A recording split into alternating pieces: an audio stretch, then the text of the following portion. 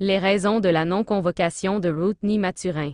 Le nouveau sélectionneur, Frédéric Gonçalves va communiquer une liste de 25 joueuses pour la Ligue des Nations de la CONCACAF féminine. À la surprise générale, Rootney n'est pas convoqué pour ce premier rassemblement en République dominicaine. Contrairement aux allégations qui circulent sur la non-convocation de Rootney Mathurin. Selon une source de Sport Passion Info, la joueuse n'est pas convoquée en raison de la date prévue pour les examens de son collège coïncide à la journée FIFA.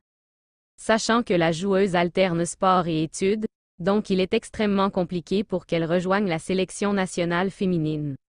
Telle est la raison de son absence dans la préliste du nouveau sélectionneur, Frédéric Gonçalves. En effet, il n'existe aucun conflit entre les joueuses et la Fédération haïtienne de football à ce stade. Frédéric Gonçalves dévoile sa première liste. Dans une annonce faite sur sa page Facebook, la Fédération